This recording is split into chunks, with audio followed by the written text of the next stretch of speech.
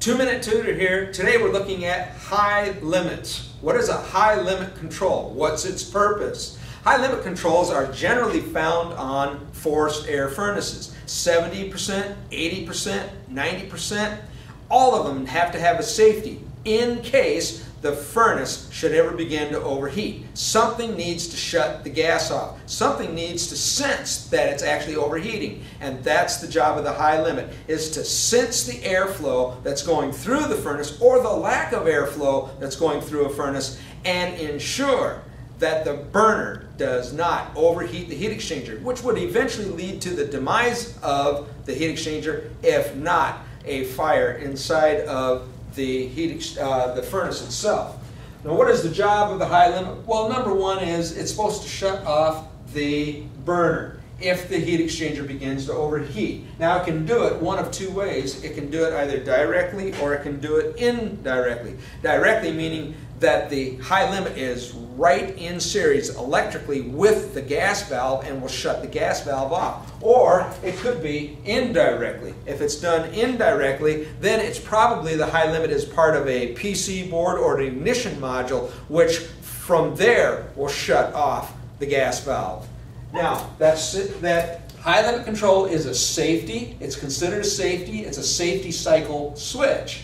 It operates usually on 24 volts and its switching configuration is usually single pole, single throw, normally closed. Normally closed because we want it to open on a temperature rise. In other words, stop the electricity to the ignition module or the gas valve if the furnace begins to overheat. Now there's different configurations for a high limit. Here we find in a, what's called a combination fan limit control that it is incorporated into a control that can do a couple of different uh, particular items. Uh, fan limit control or fa combination fan limit control, the high limit, is found on the, one of the dials here.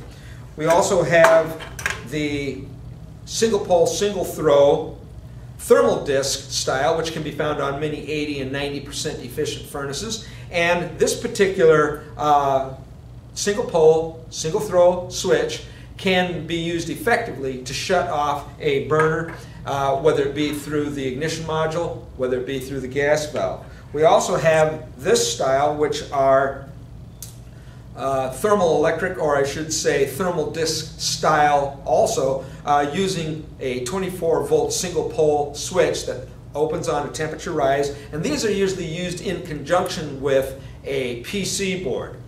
Now, the job is not only to shut off the burner, but it's also there to ensure that the fan continues to run, to send a signal to the PC board to say, hey, keep the fan running, let's get the heat out of the furnace. Hope this helps you. That's what a high limit is for, to shut off the burner in case there's an overheating situation. Two Minute Tutor, out.